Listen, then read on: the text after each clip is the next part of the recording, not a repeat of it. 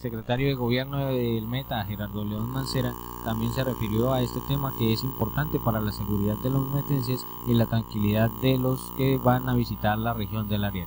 Sí, yo quiero primero eh, resaltar ese trabajo articulado que se ha venido realizando la fuerza pública, policía, ejército, conjuntamente con la fiscalía, con el CTI. Ustedes han sido testigos que en esta última semana se han dado golpes contundentes contra estas GAOR y contra eh, las, organizaciones residuales de la FARC. Fue así como se,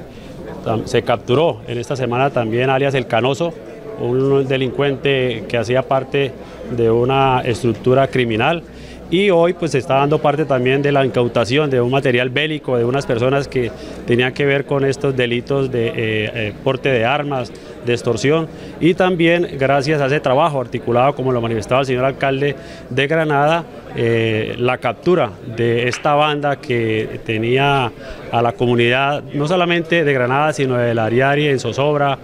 con miedo, eh, por todo lo que venían realizando, pero que gracias a ese trabajo articulado se logró su captura, su judicialización, y yo también quiero aprovechar para hacer ese llamado que ha hecho el señor alcalde. Esto no es un trabajo únicamente de la autoridad civil, de la autoridad policía o militar, sino que necesitamos de la colaboración de toda la comunidad que la comunidad denuncie cualquier hecho que considere que puede desencadenar, desencadenar en la comisión de un delito. Es importante que se entienda que este es un trabajo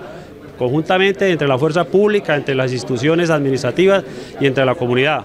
Y que tengan la absoluta seguridad, como lo ha manifestado el señor general López, que seguimos las autoridades administrativas y las autoridades de policía y del ejército en esa lucha frontal contra el delito, contra estas organizaciones que de una u otra manera tratan de desestabilizar la tranquilidad, la armonía y la paz aquí en el departamento del Meta.